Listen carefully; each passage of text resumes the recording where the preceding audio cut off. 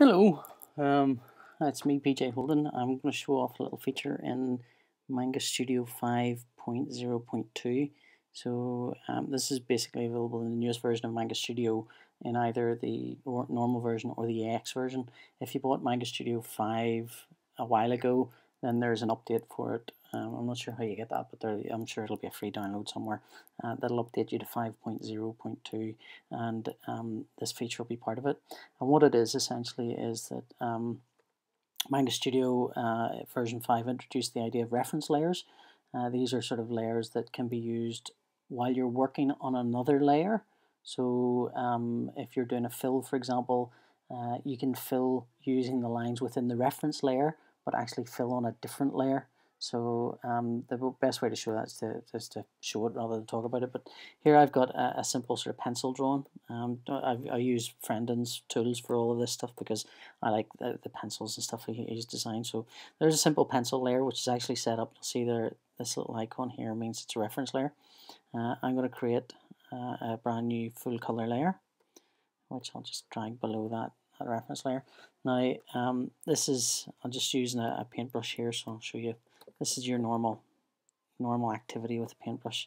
And you see as you expect you just paint wherever you like because I'm actually painting on the layer below that. What I can do though, I'll delete all of that painting.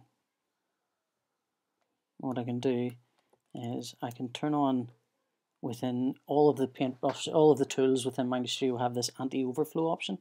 Uh, and uh, uh, the option I'm going is do not exceed line of reference layer.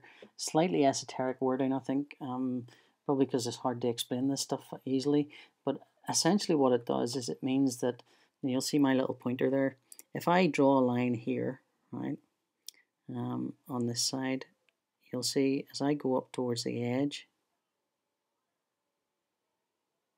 even though my tool here it doesn't go outside it doesn't hit doesn't go beyond that line because the um, the side that I'm actually drawing on the the place where my mouse pointer is is on the one side of the line so it doesn't fill beyond that. Uh, and again that's using the line within the reference layer it's a little slower than it would be because I'm, I'm recording this on uh, QuickTime, which is a bit of a dog for some recording stuff. But you can see very quickly how handy that is. If actually if I choose a different tool, let's go for um, a, uh, Photoshop. Let's see. Again, all of these, all of these have this, and you can see it's actually as long as I am careful to paint only within um, the area that I want it, you'll see it doesn't actually go outside of those lines. So you see very quickly I'm painting like that. So if I want to paint within this here area, I can actually go, you see I'll just paint within it.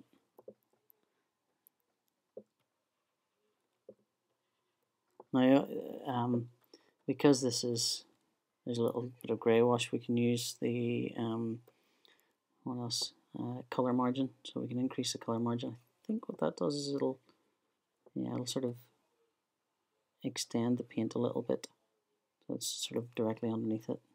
You can see there. I think that's what that does.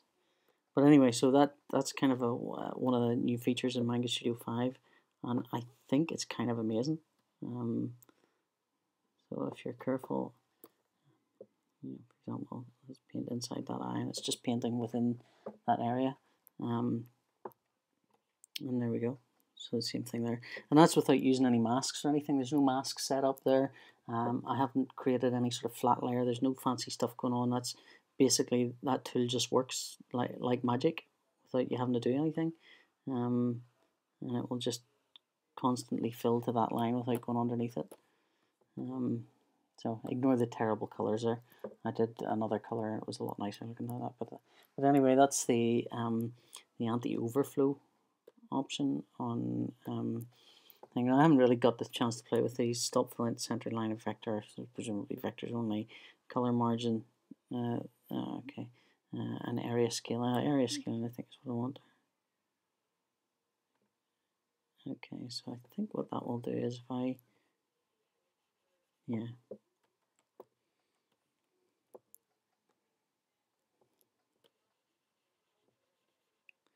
area scaling will, in this instance especially where I've got a little bit of grey, you'll see it's actually going underneath the, the line.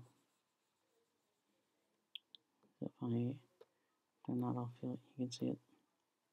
Actually, turn it down so you'll see area scaling if I increase that area scaling.